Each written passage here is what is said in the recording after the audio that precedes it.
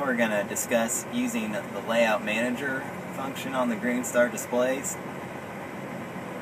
You access that by going to your main menu and choosing Layout Manager.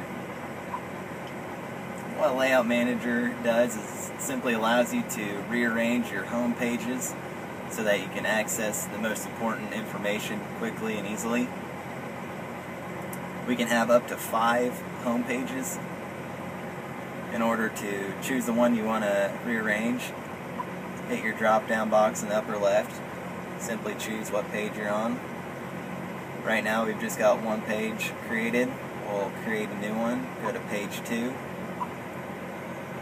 First of all, we want to acknowledge that we do want this in our home page cycle. The checkbox there. And now we have different choices of how we want the screen divided. So basically we've got a, a full screen, a, a large square with a sidebar, three sections, and so on. We'll go ahead and choose uh, three sections here. And now this gives us three areas to choose from. touch the area you want to assign. It'll ask you for a information source.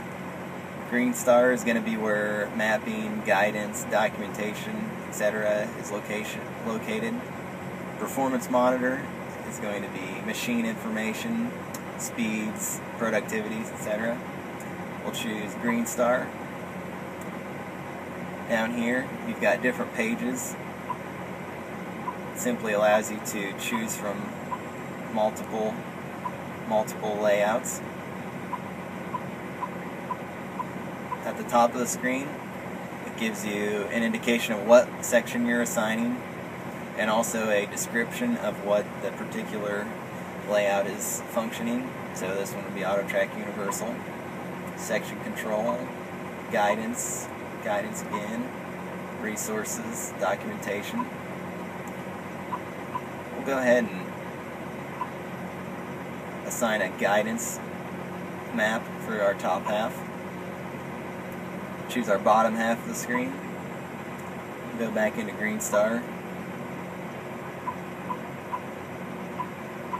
And we're going to choose resources and documentation. Now we can choose our sidebar. Over here we'll choose performance monitor. As you can see we got a few different stats to keep an eye on. Go ahead and choose this one.